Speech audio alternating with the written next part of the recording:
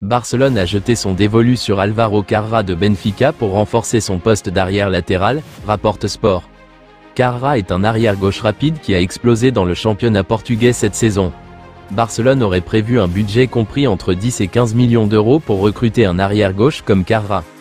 L'arrière latéral de 21 ans pourrait être suffisamment vif pour mettre Balde sur le banc s'il rejoint le Barça lors du prochain mercato.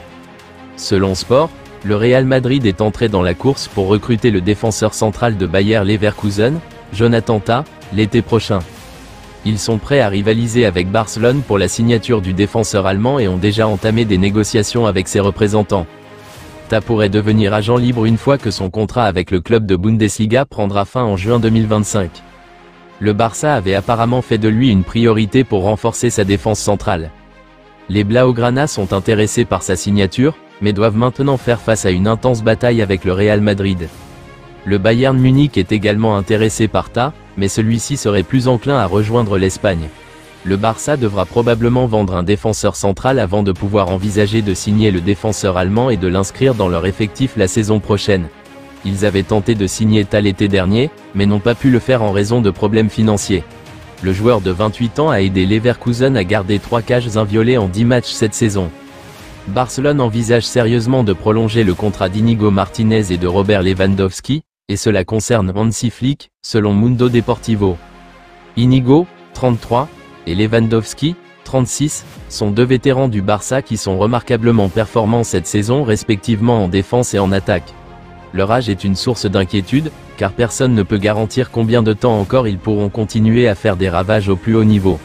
Cependant, le patron du Barça, Hansi Flick, exhorte le club à garder les joueurs au-delà de cet été car il a besoin de joueurs expérimentés dans son équipe. Barcelone a été pris au dépourvu lorsque Chelsea a déclenché la clause libératoire de 6 millions d'euros de Marc Guyu cet été pour emmener l'attaquant à Londres. La réponse du Barça a été de payer 2,5 millions d'euros à Gérone pour signer définitivement Pau Victor. L'attaquant avait excellé avec le Barça Athletic la saison précédente, marquant 20 buts. Pour éviter de se retrouver dans la même situation qu'avec Guyu, Barcelone a inséré une clause libératoire de 100 millions d'euros dans le contrat de Victor. Le contrat de Victor avec le Barça court jusqu'à l'été 2029. L'Espagnol a déjà marqué un but pour l'équipe première cette saison. La forme impressionnante du FC Barcelone cette saison est le fruit du travail acharné et de la planification de l'entraîneur Hans Flick. Sa détermination et son leadership ont ramené la force et la fierté qui faisaient autrefois la renommée du club. Une vidéo récente publiée sur le compte officiel de Barcelone met en lumière l'énergie de Flick sur la ligne de touche lors de moments clés cette saison. Les images le montrent impliqué dans chaque action, donnant des instructions et motivant l'équipe tout au long du match. Il est impliqué dans chaque détail, a noté un observateur.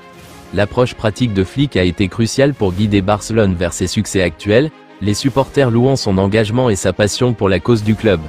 La renaissance de Barcelone sous Flick prouve que, Grâce à un leadership concentré et à un esprit d'équipe solide, une équipe en difficulté peut redevenir prétendante au titre.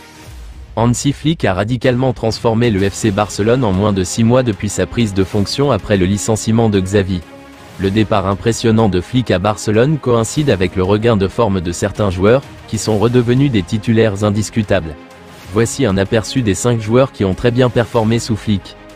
L'attaquant polonais a marqué des buts sous Xavi, mais cette saison, nous voyons un Lewandowski transformé. Bien qu'il ait 36 ans, Lewandowski marque plus de buts pour le Barça que ce qu'Erling Haaland et Kylian Mbappé peuvent revendiquer dans leur club. Lewandowski a déjà inscrit 12 buts cette saison en 11 matchs. Des rapports indiquent que Xavi souhaitait le vendre car il est trop vieux. Lamine Yamal. Lamine Yamal est désormais évalué à 150 millions d'euros et c'est grâce à ses performances au Barça cette saison. Le jeune joueur a enregistré 5 buts et 5 passes décisives en 11 matchs cette saison et franchement, il aurait pu en avoir plus sans un peu de malchance et quelques substitutions précoces de Flick.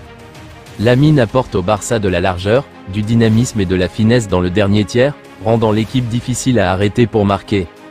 Rafinha est le muscle de l'attaque de Barcelone sous Flick.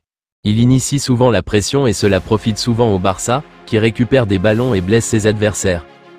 Flick a transformé Rafinha en un joueur différent en le faisant jouer en tant que numéro 10, lui donnant la liberté d'explorer le dernier tiers et de semer le chaos.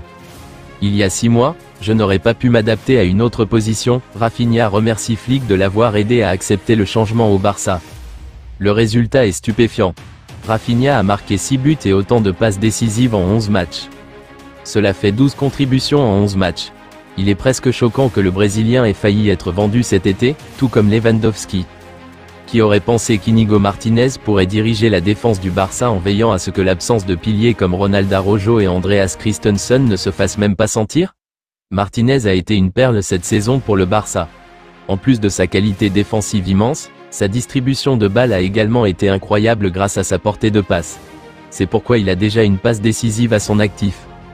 Marc Casado a été intégré au milieu de terrain du Barça sous Hansi Flick et il n'a guère commis d'erreur. Avec Xavi, je n'avais pas beaucoup d'opportunités, mais cela m'a aidé à devenir mentalement plus fort. Parfois, je pensais que je pouvais jouer, mais ce n'était pas le cas, déclare Casado. Étant donné à quel point il a été bon depuis le début de la saison, il est difficile d'imaginer Casado sur le banc. Mention spéciale, Jules Koundé, Dani Olmo, Pedri et Pau Cubarsi. Hansi Flick est déjà fan de Ronald Araujo pour trois raisons principales, la force de son caractère, son influence auprès de ses coéquipiers et sa capacité à corriger rapidement ses erreurs, rapporte Diario Sport. Araujo a impressionné le staff technique par les efforts qu'il a fournis pour retrouver sa pleine forme après une grave blessure aux ischio-jambiers il est possible qu'Arojo revienne sur le terrain avant la fin de l'année. Le défenseur a récemment été aperçu en train de regarder l'entraînement du Barça. Arojo a été élu l'un des capitaines du Barça la saison dernière et devra éliminer les erreurs de son jeu tout en aidant l'équipe à continuer à gagner.